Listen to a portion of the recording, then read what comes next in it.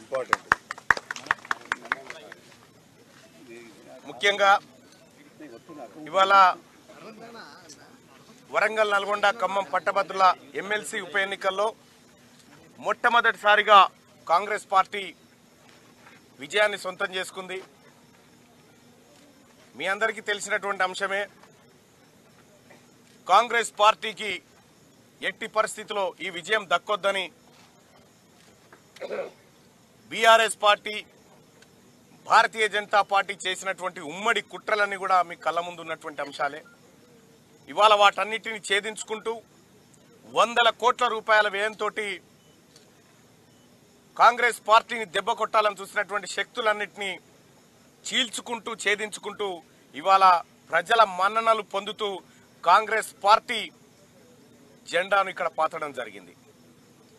ఇలా కాంగ్రెస్ పార్టీ విజయం సాధించిందంటే ముఖ్యంగా ఆ తల్లి సోనియా గాంధీ గారి ఆశీస్సులతోటి ఏఐసిసి అధ్యక్షులు మల్లికార్జున్ ఖర్గే గారి ఆశీస్సులతోటి రాహుల్ గాంధీ గారు ప్రియాంక గాంధీ గారి ఆశీస్సులతోటి తెలంగాణ రాష్ట్ర ముఖ్యమంత్రి వర్యులు గౌరవనీయులు రేవంత్ రెడ్డి గారి ఆశీస్సులతోటి అలాగే మా మంత్రులు గౌరవనీయులైనటువంటి ఎమ్మెల్యేలు ఎమ్మెల్సీలు ప్రజాప్రతినిధులు ప్రతి కార్యకర్త కృషి ఈ గెలుపులో ఉంది.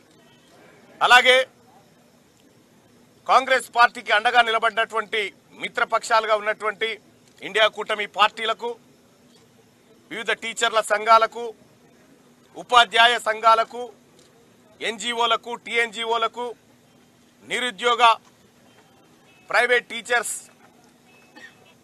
two thousand eight two thousand nineteen ninety eight DSC qualified అభ్యర్థులు ఎవరైతే ఉన్నారో వారితో పాటు త్రీ వన్ సెవెన్ జీవో బాధితులు కూడా ఇవాళ కాంగ్రెస్ పార్టీ మాత్రమే మా సమస్యలు పరిష్కరిస్తుందని చెప్పి నమ్మకంగా మాకు అండగా నిలబడ్డటువంటి వారందరికీ ముఖ్యంగా మీడియా సోదరులకు.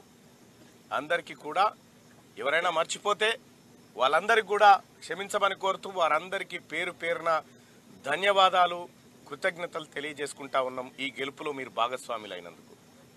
ఇక మరి ముఖ్యంగా కాంగ్రెస్ పార్టీకి మేధావులు ఎప్పుడు అండగా ఉండరు అనేటువంటి ఒక అపవాదును గత కొంతకాలంగా ఉండే. కానీ ఇవాళ అటు మెదకు కరీంనగర్ ఆదిలాబాద్ నిజామాబాద్ ఎమ్మెల్సీ తీసుకున్నా ఇవాళ ఇక్కడ వరంగల్ నల్గొండ ఖమ్మం పట్టభద్రుల ఎమ్మెల్సీ తీసుకున్నా మేధావి వర్గం సంపూర్ణంగా ఇవాళ కాంగ్రెస్ పార్టీ పక్షాన నిలబడ్డదని చెప్పడానికి ఇది సజీవ సాక్ష్యం ఈ ఫలితం అని చెప్పి తెలియజేస్తా ఉన్నాం.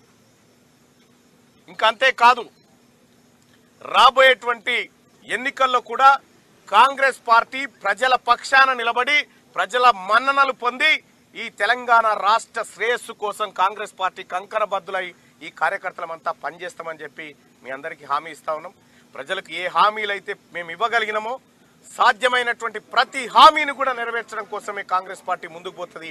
మేమందరం ముందుకు పోతామని చెప్పి మీ అందరికీ తెలియజేసుకుంటూ నాకు పదేళ్ళ కాలం పాటు చేసినటువంటి పోరాటానికి ఇవాళ నాకు అండగా నిలిచినటువంటి నా అన్నలందరూ ఎమ్మెల్యేలందరూ మంత్రులందరూ ముఖ్యంగా ముఖ్యమంత్రి రేవంత్ రెడ్డి గారు వీళ్ళందరికీ గెలిచినటువంటి గౌరవ ఎంపీలకు కానీ మొన్న గెలిచినటువంటి ఎంపీలకు కానీ అందరికి కూడా మరొకసారి కృతజ్ఞతలు తెలియజేస్తా ఉన్నా.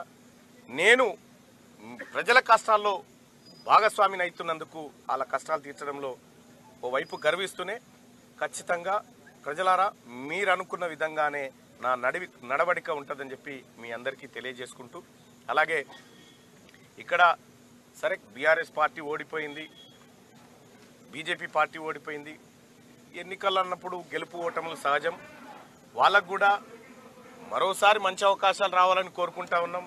ఈసారికి మాత్రం కాంగ్రెస్ పార్టీదే ఈ సీట్ అని చెప్పి ప్రజలు తీర్పునిచ్చారు కాబట్టి ప్రజలు ఇచ్చినటువంటి ఈ గౌరవాన్ని నెత్తికెక్కించుకోకుండా ఖచ్చితంగా ఒక బాధ్యతాయుతంగా పనిచేస్తామని చెప్పి తెలియజేసుకుంటూ ఈ ఎన్నికల్లో పాల్గొన్నటువంటి సిబ్బందికి అందరికి కూడా ధన్యవాదాలు తెలియజేస్తాం. జై కాంగ్రెస్. జై కాంగ్రెస్. జై మల్లన్న. ఒకటి ఈ గెలుపు ఈ గె- ఈ గెలుపు తెలంగాణ అమరవీరులకు అంకితం ఇస్తా ఉన్నాం. జై కాంగ్రెస్. జై కాంగ్రెస్.